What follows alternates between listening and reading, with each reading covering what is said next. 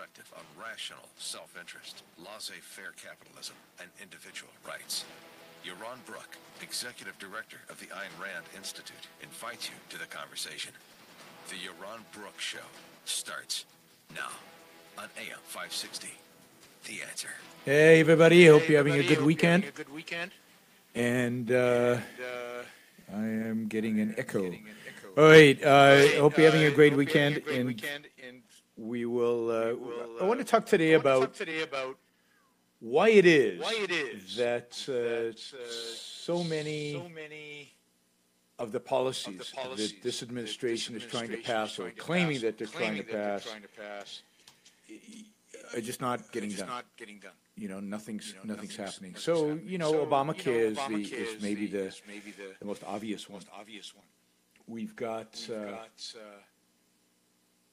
we, we've we've got this we've got this obligation that the Republicans have made that they are going to they are going repeal, to uh, they're going to uh, repeal Obamacare. They're going to do everything they can to repeal they can to Obamacare. And this is what you know, and, and, and they've been saying this for what six years, six years, and yet and yet nothing is happening. nothing is happening.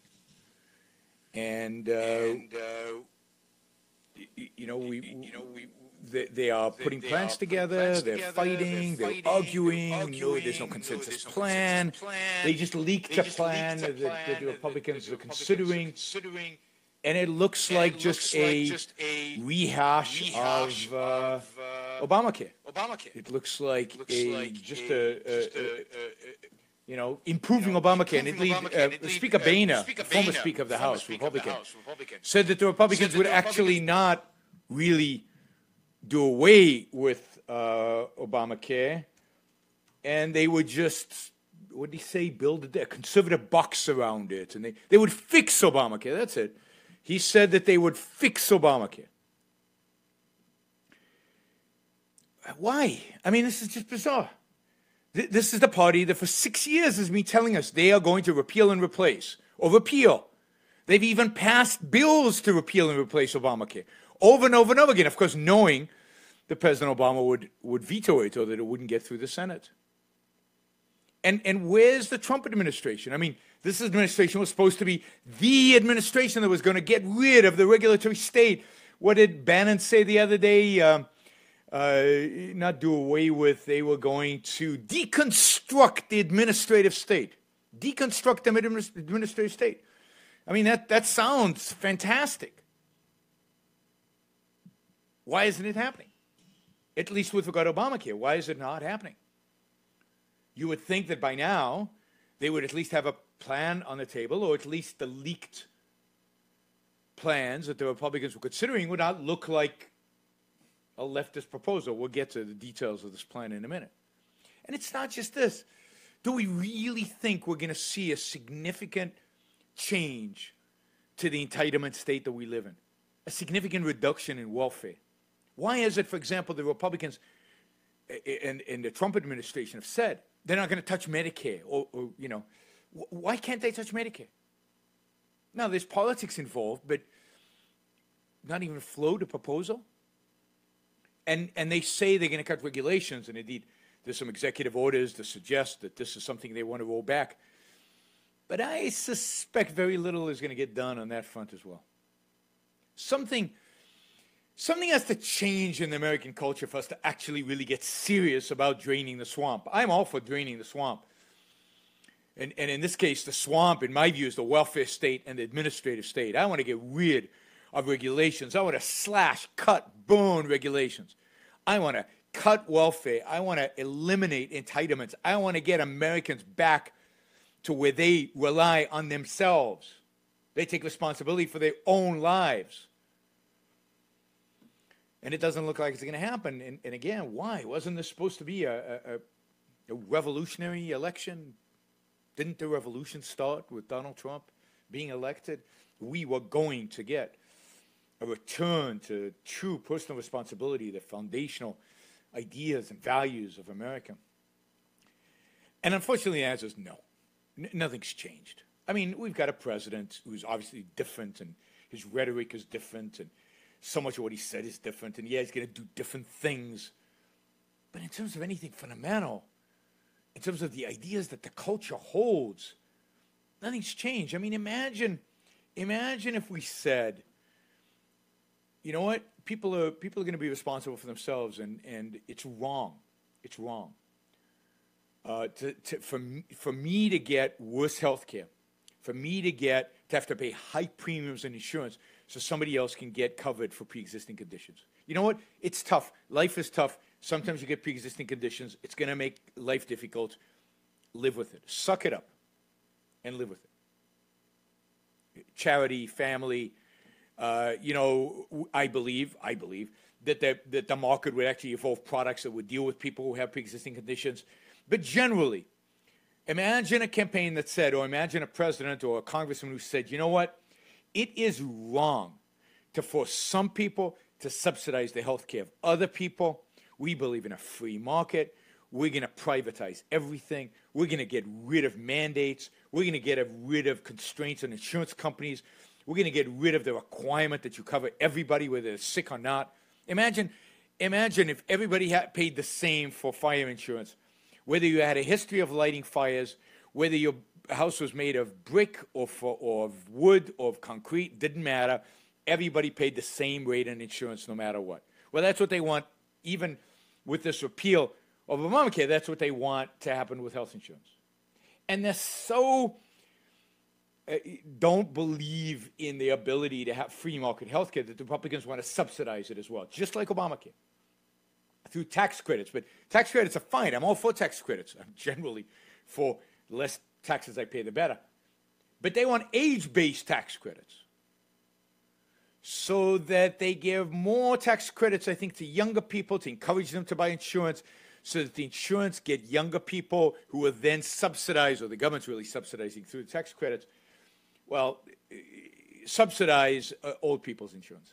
Why, why can't we real just say, why can't we just say, we're going to let the market solve this problem? We don't have, we don't have government figuring out and subsidizing uh, smartphones for people, and somehow prices keep going down, quality keeps going up, and everything is cool, and the products get better and better and better, and cheaper and cheaper and cheaper, and really, really, really good. Imagine what the government would do if they designed the iPhone. What would it look like? And yeah, when it comes to healthcare, no, no, we can't do that. Partially because we already have Obamacare, and they can't actually get rid of it because people are dependent on it, and you can't do anything that might be perceived as harming somebody. But that's the problem. We have welfare, we have Medicare, we have Medicaid. You can't get rid of them because they already exist. When when uh, FDR put together the the the um, the New Deal, Republicans swore that they would undo everything he he did because it was so harmful. And yet, when they got into power, they kept it all. And when Johnson gave us the Great Society, the Republicans swore that they would undo everything. And now they're the biggest defenders of the Great Society. Why? Well, because fundamentally, we hold a moral view, an ethical view that says that your moral responsibility, your moral, ethical responsibility in life is to take care of those in need.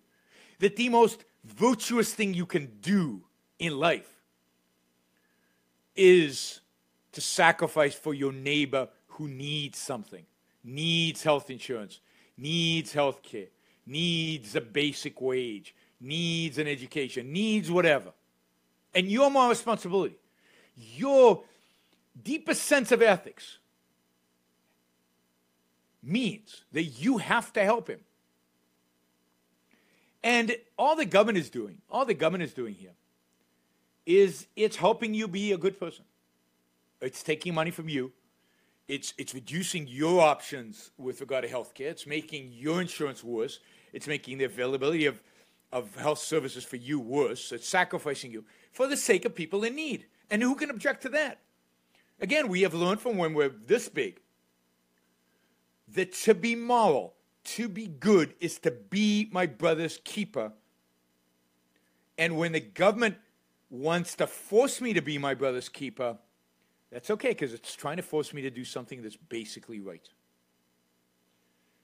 And as long as we don't challenge that morality, as we, long as we don't question that morality, then you can't say I'm going to repeal and, and, and move towards free market health care repeal Obamacare and move because free market healthcare is going to require people to stand on their own two feet. Free market healthcare is going to mean that some people are going to be worse off, that some people's needs are actually not going to be met, and you're responsible for that. So, you know, this is why they go to the town hall meetings and yelling down Republicans and everything because they, they they're expressing the fact that morally they find all this offensive. All right. You're listening to Yaron Brook Show, and, and, and I want to present an alternative ethic, ethics to you. An alternative. An alternative which is consistent with freedom, with capitalism, and, and with private health care rather than government health care. You're listening to Yaron Brook Show, and you can follow me on Twitter and on Facebook, Yaron Brook, Y A R O N B R O O K. We'll be back right after this break. Stuck in traffic? We've got the answer from the WoodfieldNissan.com Traffic Center. I'm Ken Griffin taking a look at the roadways onto Edens for slowing in both directions. 25 Lake Cook to the junction, 20 back out to Lake Cook onto Kennedy, 37 O'Hare to downtown, 19 from Montrose, and then about 35 out to the airport, 10 to the junction. On the Eisenhower, 45 Thorndale to the post office, 32 from Mannheim, that's heavy from Wolf to Oak Park, and look at about 36 back to uh, Thorndale. Stevenson is slow. Dan Ryan on in, 39 from 355 and 43 back to 355. Stevenson slow outbound California to Cicero.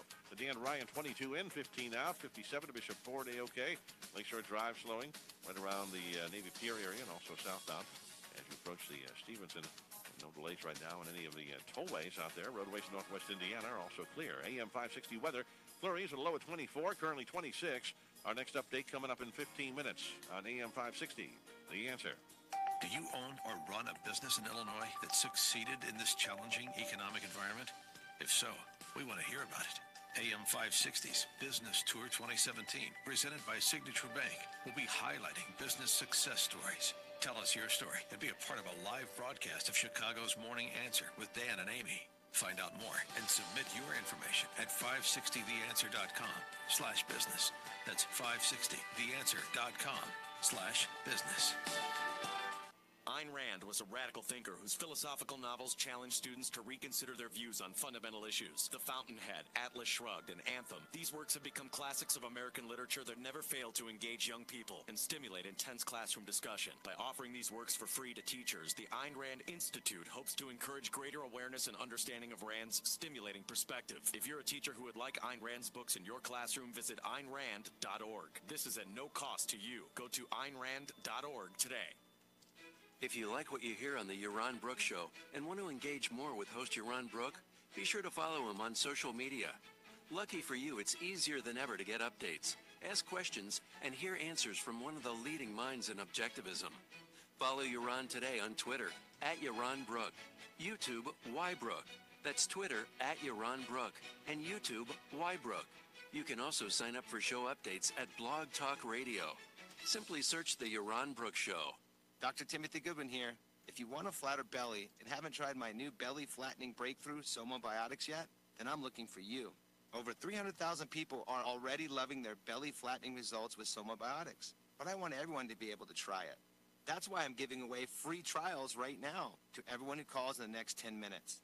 As a doctor, I know many big bellies are actually just bloated bellies. That's why I helped create Somobiotics to flatten bloated bellies fast by cleansing pounds of rotting food and toxic sludge from your body. Made right here in the U.S. with natural ingredients. If your belly flattening results are too dramatic, reduce use to every other day. For your free trial, call in the next 10 minutes for details. 1 800 600 2811. Hurry, join the hundreds of thousands flattening their bellies while Dr. Goodwin is still giving trials away for free. 1 800 600 2811.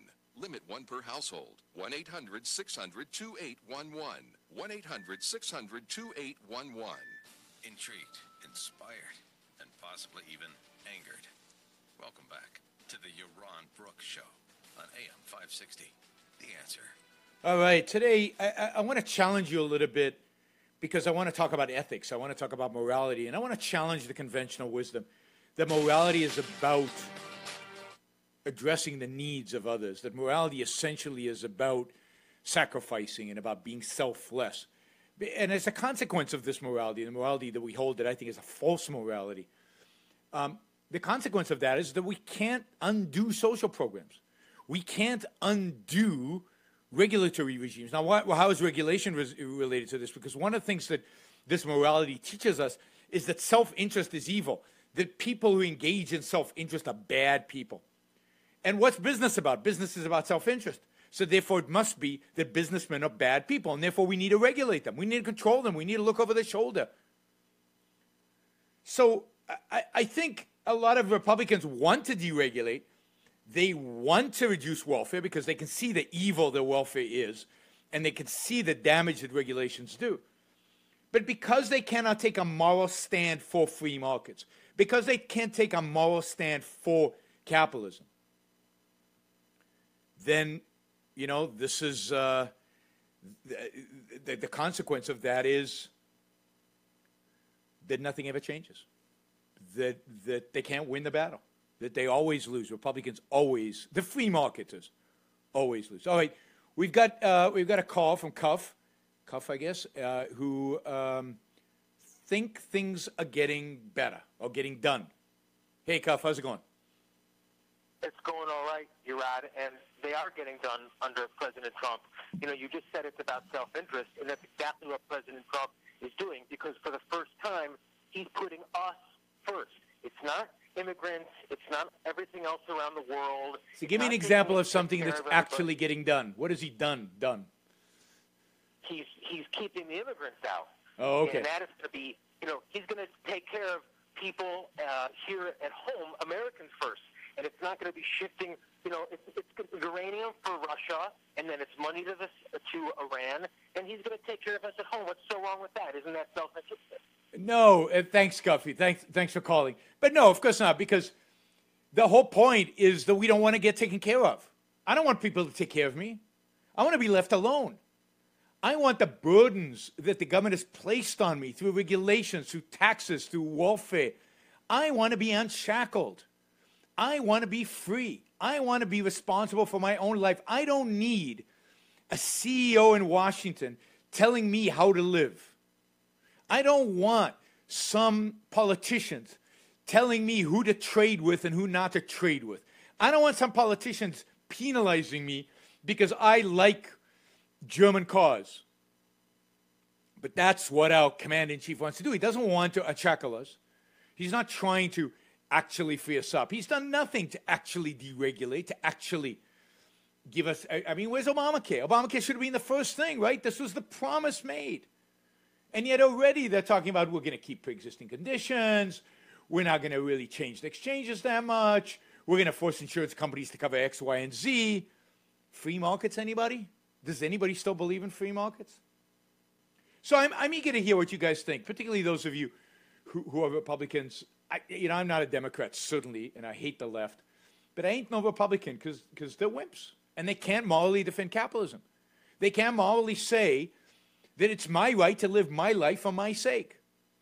And if you don't have health care, if you don't have health insurance, you have two options. You can kind of ask me for help, and I might help you, and I might not. Or you can pull a gun and take my stuff from me.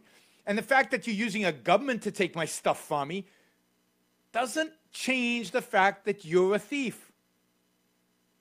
So Obamacare is evil because it takes my money and subsidizes somebody else's health care. If I want to help somebody, I'll help them. But it's not my moral obligation to do it. And it's not the government's job, certainly not the, any government's job, but it's certainly not an American government job to steal from me to give to somebody else. I think that's immoral, fundamentally immoral. Why? Because for me, morality is about my life. For me, morality is about living my life the best life that it can be. For me, morality is about leaving me free so I can make the choices necessary to pursue the values that I believe lead to a good life. So, you know, this morality of, of sacrifice, this morality of, of I owe my life to other people. And I go, why? Why should I owe my life to other people? I don't. I don't owe it. I don't owe them anything. My life is mine. And if I choose to have a relationship with another person, if I choose to help somebody else because it serves my life, because it makes my life better, then I choose to do it. But stay out of it. You don't get to decide who I help and who I don't help. You don't get to pull out a gun and force me to help people, which is what the government does. So, you know, and, and, and if I don't want to deal with a businessman because I don't trust him, I won't deal with him. But it's not the government's job unless the businessman is committing fraud, unless the businessman does something that's violated the law. It's none of the government's business. Regulations are not laws in the traditional sense. Laws used to protect us from fraud. Laws used to protect us from uh, people violating our, our rights, our property rights, by stealing from us. Now, we've got all these regulations controlling, you know, controlling our behavior, what products we can make, when we can make them, even how much we can charge on them sometimes. Some things are subsidized, some things are taxed, some things the government perceives as good, some things the government perceives as bad. What about what I perceive? What about my choices? So, I want a morality, a code that says that what we need is a code of values to achieve successful human individual life. And, and I really recommend you all, agree or disagree, read Ayn Rand, particularly read Ayn Rand's essay, The Objectivist Ethics, in a book called The Virtue of Selfishness. And it's not the kind of selfishness you typically think of. It's not the selfishness of doing whatever you feel like doing. It's not the selfishness of, you know, uh, stabbing your neighbor in the back. No. The most selfish thing you can do in life is to think. It's to focus. It's to figure out what is good for you in life. And it's about trade and cooperation and building and creating stuff. But it means that your primary moral obligation, your primary mo- obligation in life is to live, is to be successful, it's to achieve happiness, it's to produce and to keep what you produce because you produced it. You did build it. So get, it's yours. You get to keep it. Morality should be about reason, eh, thinking, and, and, and being rational, and being honest, and being, having integrity, and, and, and, and treating people justly. Good people should get rewards, bad people should get punishments. That's what justice means. It Doesn't mean treating everybody the same. It means morality really means taking pride in your own achievements. What's wrong with pride? Pride's a great thing as long as you've earned it. And pride is meaningless if you haven't earned it. There is no pride in the unearned. That's what people don't understand.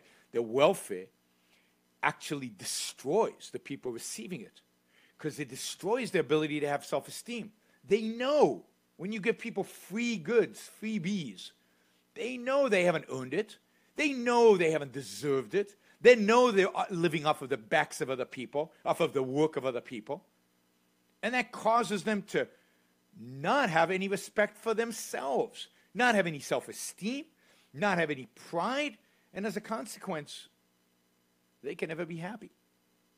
So, welfare is not just wrong because it takes my money by force from me, it steals, but welfare is wrong because it destroys the lives of the people who receive it. It makes them dependent, it destroys their self esteem, it makes it impossible for them to live productive, full, complete, successful lives. So I have very little hope uh, from this administration and these Republicans for actually moving us in any significant way towards free markets in medicine or in anything else. Yes, it's better than they'll do better than the Democrats in the sense that the, the Obamacare, we'll call it Republican care that comes out of the revision, will be slightly more freedom oriented than what Obama was and what Democrats would have done. But it's still way, way, way far away from what true free markets would look like, what a real free market healthcare system and healthcare insurance system would look like. All right. Um, love to hear what you what you think of all this. Uh, what you think about morality. What you think about sacrifice. What you think about being self-interested. What you think about being selfless. And what do you think about Obamacare? What do you think the kind of healthcare system uh, that we should strive towards? What do you think the ideal should and would be? You can call in 312 642 5600. You're listening to Yaron Brook Show. We'll be right back.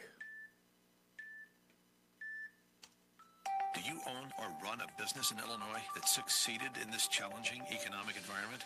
If so, we want to hear about it. AM 560's Business Tour 2017, presented by Signature Bank, will be highlighting business success stories. Tell us your story and be a part of a live broadcast of Chicago's No Morning music this Answer time. with What Dan happened? and Amy. Find out more and submit your information at 560theanswer.com slash business. That's hear you at all. 560theanswer.com slash business. Fox News Radio, I'm Karen McHugh. It's mostly thumbs up for President Trump and the way he's doing his job, according to the straw poll taken at this year's CPAC summit in Maryland. 86% approve, only 12% are telling us they disapprove.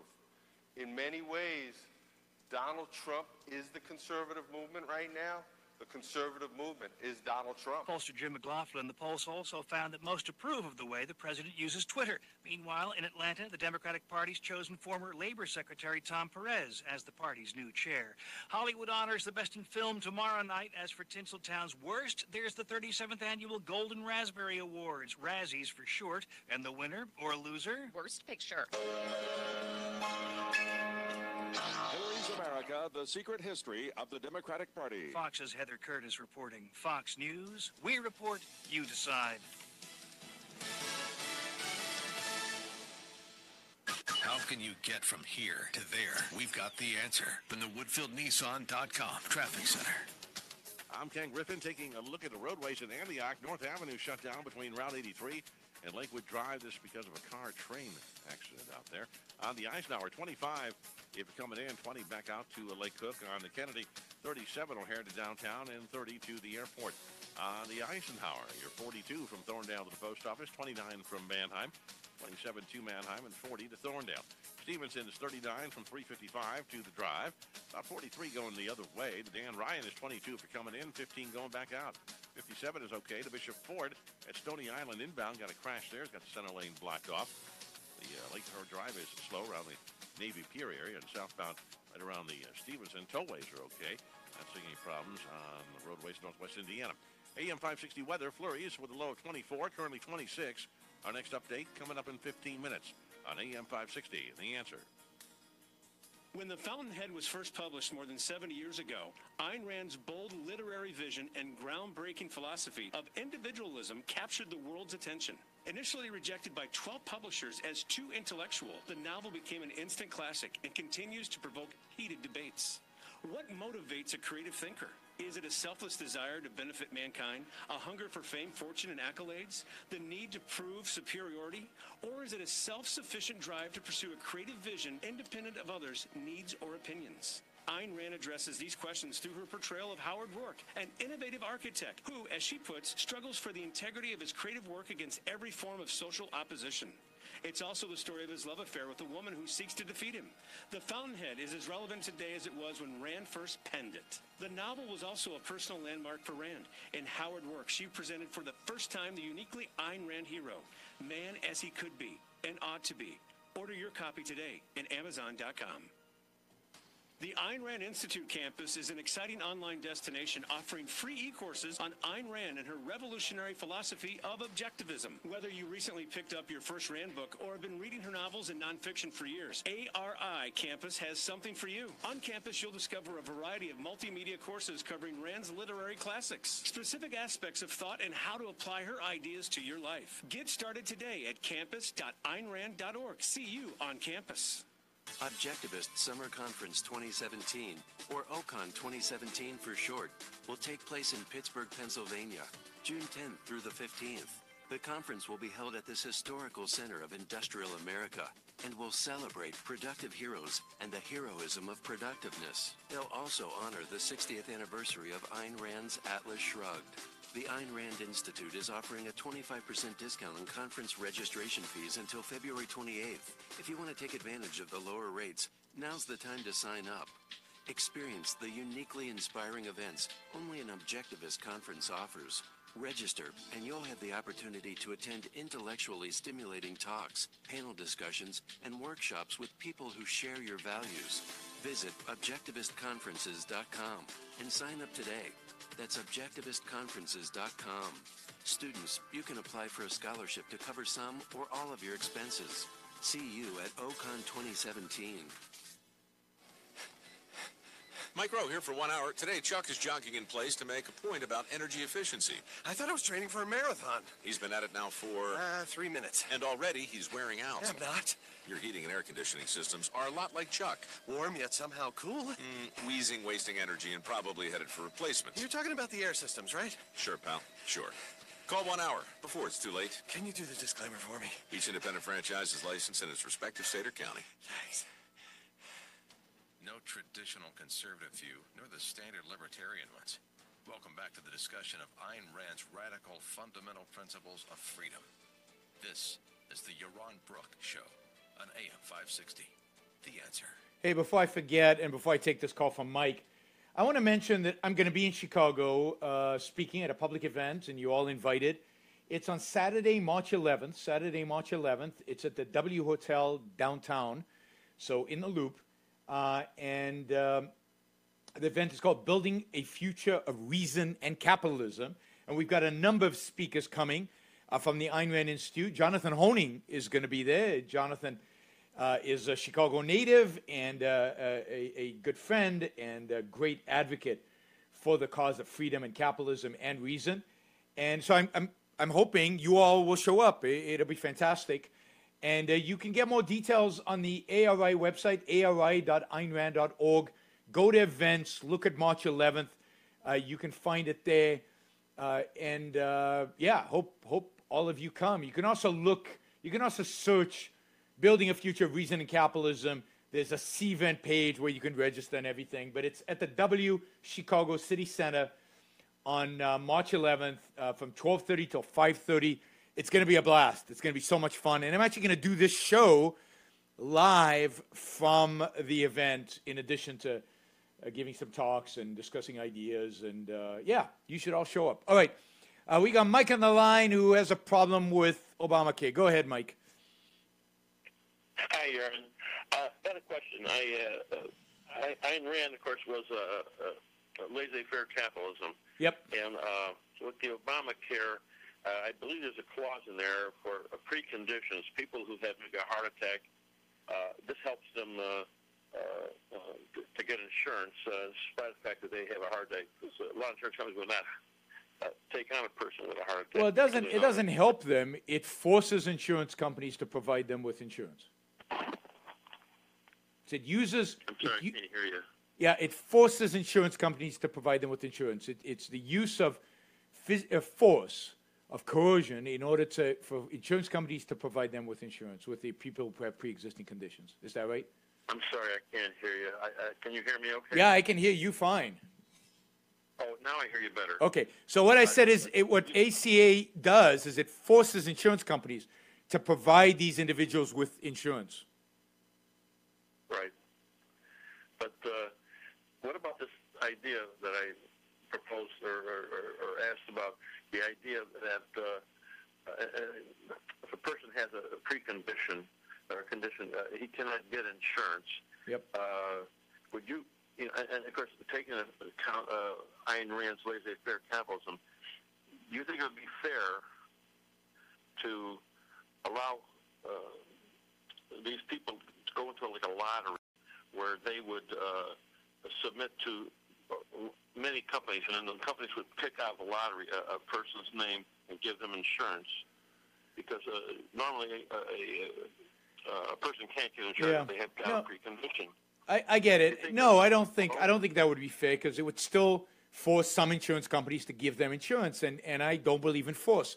I don't believe in forcing businesses to do what is not in their self-interest. So my view is, first of all, let me say this: in a true free market, if we really deregulated insurance and we deregulated healthcare, there would be innovative insurance products that would come about that would deal with the whole uh, pre-existing conditions issue. For example, you would have you would be able to buy. You know, I can buy a life insurance policy for 30 years, and if during those 30 years I get sick, it doesn't raise my premiums. I can guarantee a fixed premium through the 30 years.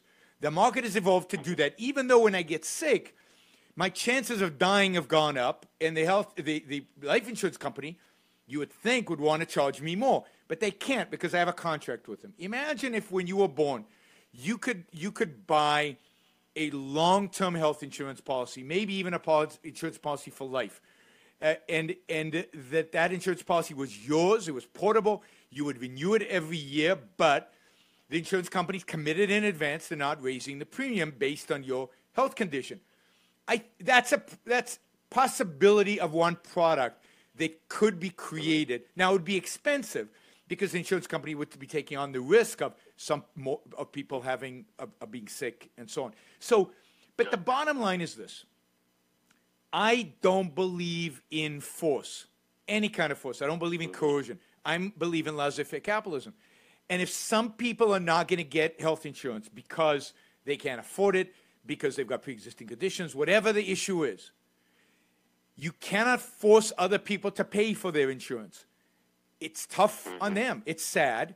What they will rely on is charity. What they're going to have to rely on is the hospitals being willing to commit them, even though they don't have insurance, and treat them. You're going to rely on, I don't know, the United Way or some uh, uh, new philanthropic organization that provides them with a subsidy so that they can do, you know. So I believe somebody asked somewhere else if I believe in a safety net. Yeah, I believe in a safety net that's voluntary, that is provided by us, that's provided by your neighbors, that's provided by your friends, that's provided by your family, that's provided by charity, that it's voluntary. Yeah, I think that's that's a possibility uh, in the future. I mean, uh, right now, uh, because the, the restrictions on uh, uh, hospitals and uh, I agree with you. So, so I agree. You have to massively deregulate and get rid of everything. Really appreciate your call. We're running to a commercial break. Keep on listening, Mike.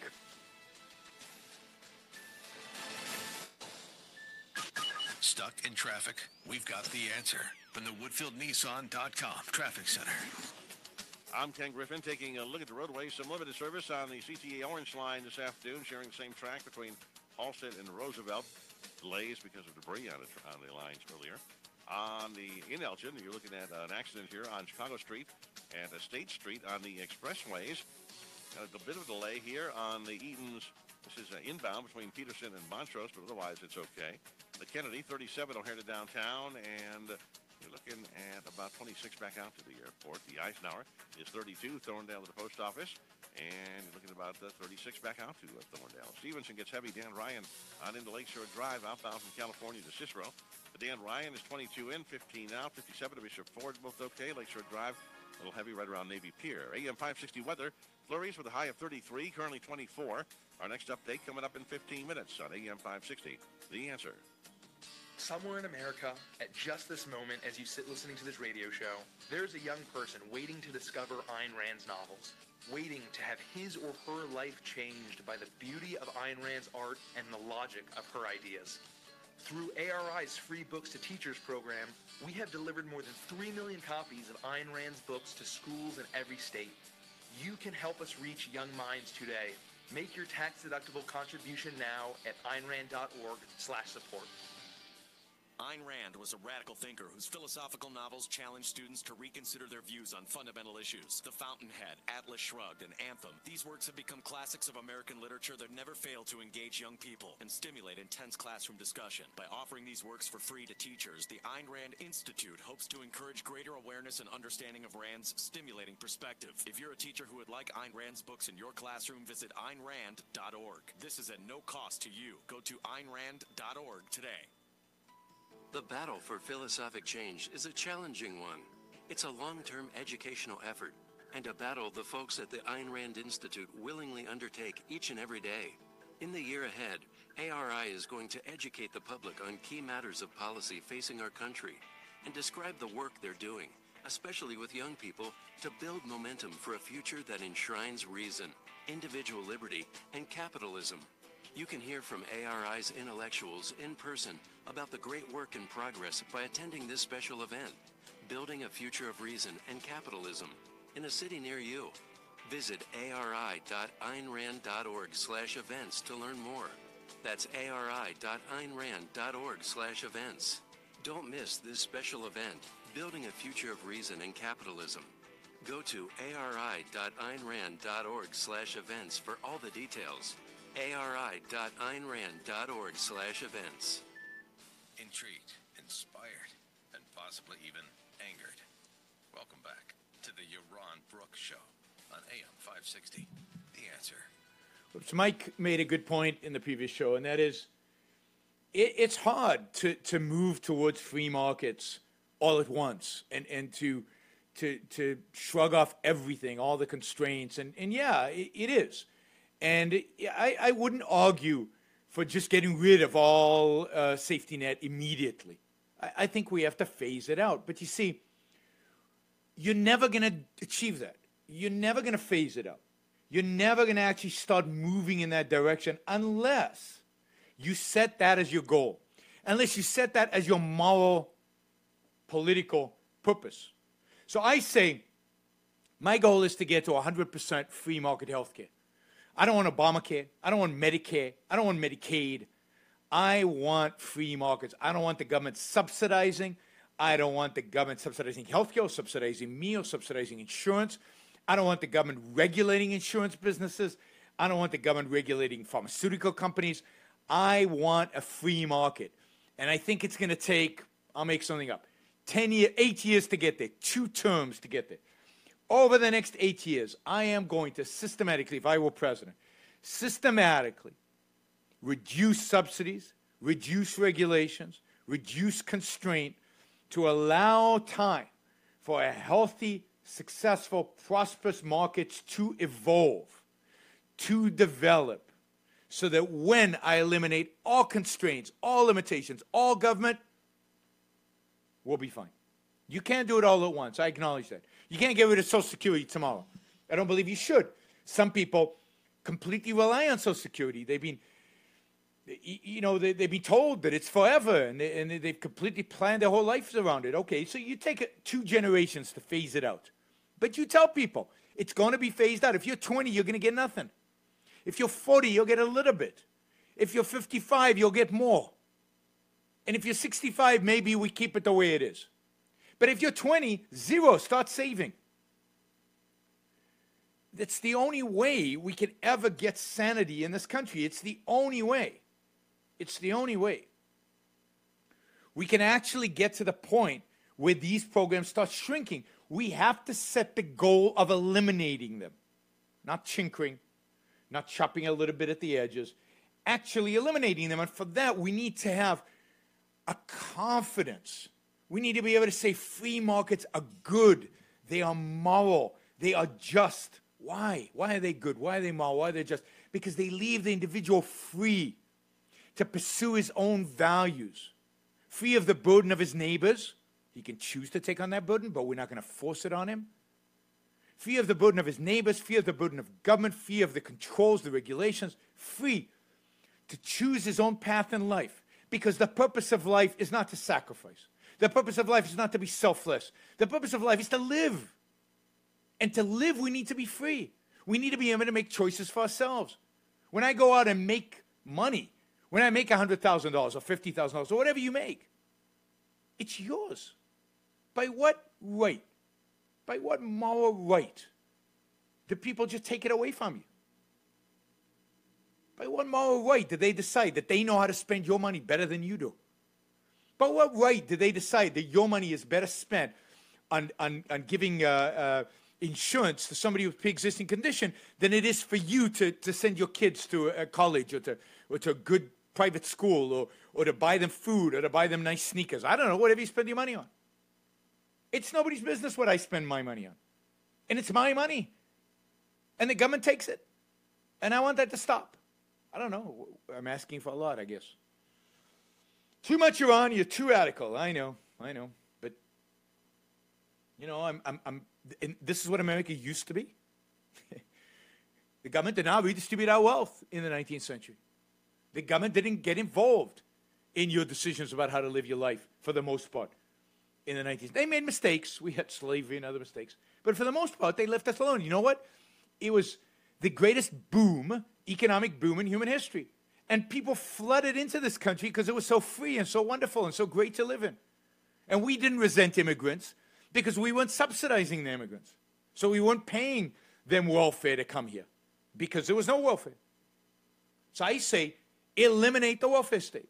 eliminate entitlements. Now, again, it takes time. You have to phase them out. But, but you have to know where you're heading. And you have to convince the people that where you're heading is a good thing. And I don't see any political will to do that. I don't see any political leadership for this agenda, and that makes me sad. All right, you're listening to Yaron Brook Show. You, you know, if you want to chime in on, you know, what do you think about the welfare state? Should we eliminate completely? Should we keep a safety net, a, a, a public safety net, a government safety net? Should we continue to regulate businesses uh, as much as we do today? 312 642 5600. 312 642 5600. You can get in the conversation. What do you think about the ethical code that says that your moral responsibility in life is to sacrifice? I say that's evil. I say that's evil.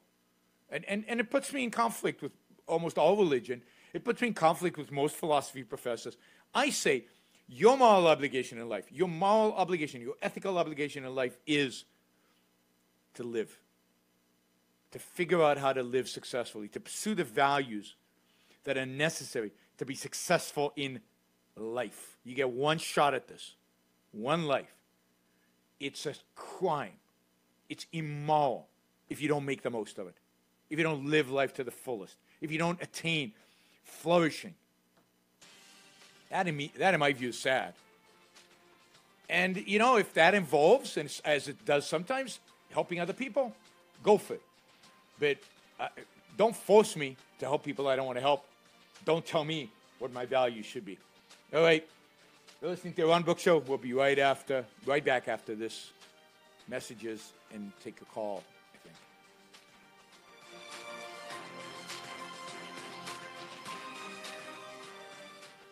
Rise and Fall, a new podcast from the Ayn Rand Institute, explores the power philosophic ideas have to shape the world and our individual lives.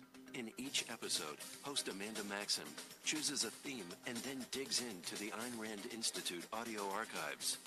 That's where every lecture, radio program, course, and Q&A from objectivist voices that were caught on tape over the past 50 years wait to be uncovered. She takes these gems and weaves them together with commentary and original interviews.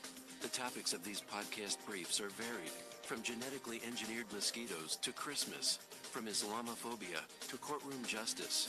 But no matter the topic, Rise and Fall looks at many subjects through the lens of philosophy, namely how ideas move and shape the world. Listen today at aynrand.org slash rise and fall. One woman, one microphone, one key to the Ayn Rand Institute audio archives.